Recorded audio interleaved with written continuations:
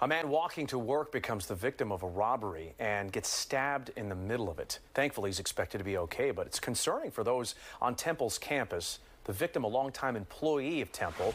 Police giving us an update here only on Fox. Shayna.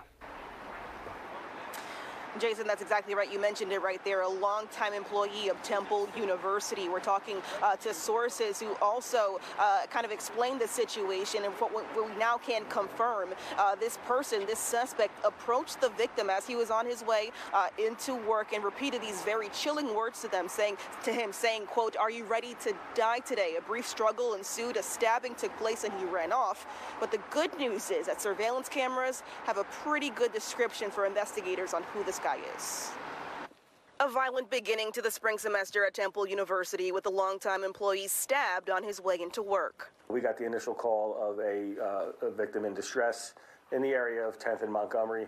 The disturbing assault happened early Tuesday morning, just after 7 a.m., when the snowy conditions were still quite messy. Michael Smith is the Deputy Director of Organizational Affairs with Temple University's Police Department. It definitely was not the most ideal morning weather wise. Um, I think at the time it was still snowing or at least sleeting.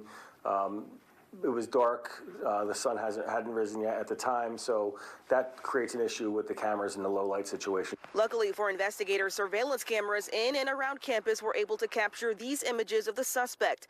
Take a good look. The suspect is seen here with a royal blue top and jeans. Temple police tell Fox 29 the suspect approached the victim face to face, assaulted him, and stole his wallet. From what we gather, the victim had um, parked his car and was walking to work at the time, uh, so he was on foot when he was approached by this individual. The victim's wallet was stolen. We believe the motive at this time was robbery. The news of the stabbing quickly spreading on campus. When things do happen like this, it's just unfortunate. This, this thing is crazy.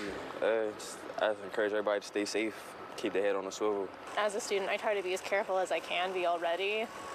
Uh, try to stay in areas that are well lit. Obviously, though, clearly something is wrong if it's happening right outside a building. Which is why Temple Police is sending out these important reminders. We have the TU Safe app on campus for, for students and employees, faculty, and staff.